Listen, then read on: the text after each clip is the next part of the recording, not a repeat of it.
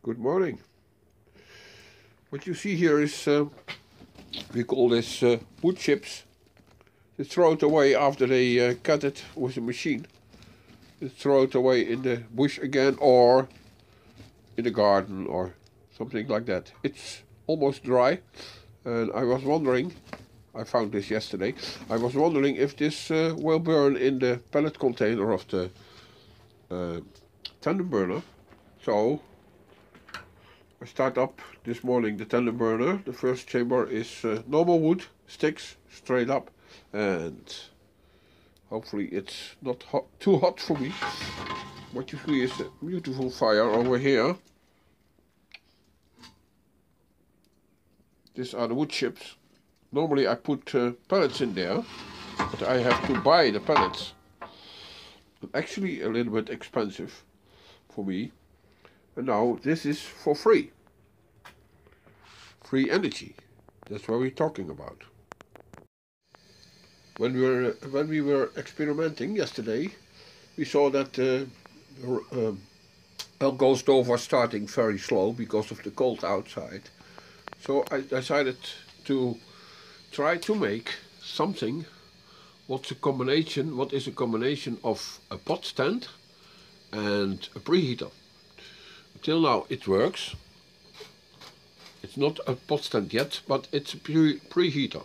You can see that I did make some holes over here in the range of the flames and some holes, holes over here.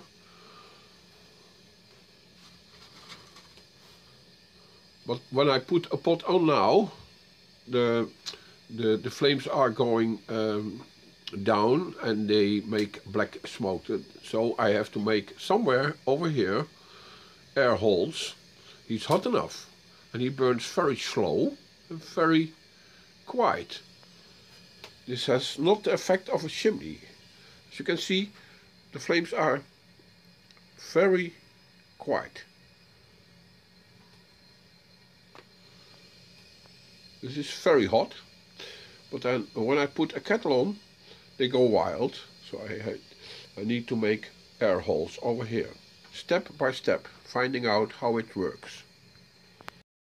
So Sophia, is, Sophia isn't there, so I have to do it uh, with one hand, one hand video. It's already uh, a little bit uh, alcohol in the stove, and on the floor of the stove is alcohol too, a little bit too much perhaps. I will ignite it. There he goes. He's already burning. You see the holes over there giving the air. You can see he's already burning. He will go wild for a moment because there was too much alcohol in it. And then he will slow down. But in this, um, what you see on the left is paper that's still on the on the on the can it's gone for in a few seconds now he is going down still a little bit on the bottom place them in the middle look how beautiful this is burning there's not much alcohol in the stove because of the experiment. experiment. Now it did make some holes over here. I don't know if they are big enough and if they are um, will slow down the fire too much. So I have to take a kettle from the tandem burner and put it over here. And then we go down for a look this is, oh, this is good. Look what happens. The flames are still good working.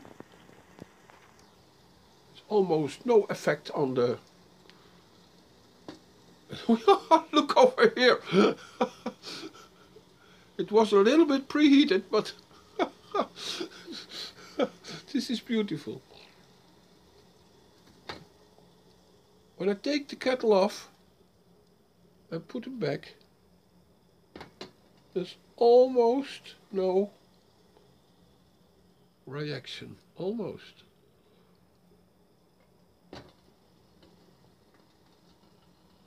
Well, Tim and Don, how do you like it? My cup of tea on the alcohol stove. See you. Yes, Tim, what did you say about uh, a steam kettle or the steam machine? This will work, it's no problem.